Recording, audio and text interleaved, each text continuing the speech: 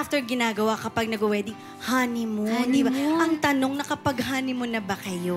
Nag-honey naman naman ng small. Ah, Ano, small, sa- small. small lang. Intimate lang muna. Originally, nung before lang, bago, ka- bago nga po kami na-engage, ang gusto talaga naming honeymoon is out of the country. Eh, Siyempre, pandemic din. Di ba, Case?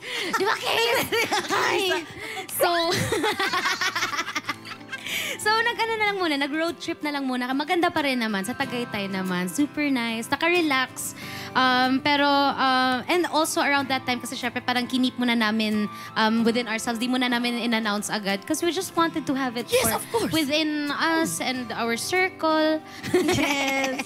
so, muna, we were able to enjoy it naman for the past months. And then, noong January lang po namin in-announce. Kaya, feeling ng mga tao sobrang bilis. Yes, oo nga. Pero, yun. secret lang pala. Tapos may Yes. plano pa kayong mas may honeymoon na bongga. Hopefully, hopefully makapag-travel na ulit. I mean, we're also, ano, we also just came from a trip din, kaya naka-enjoy naman din.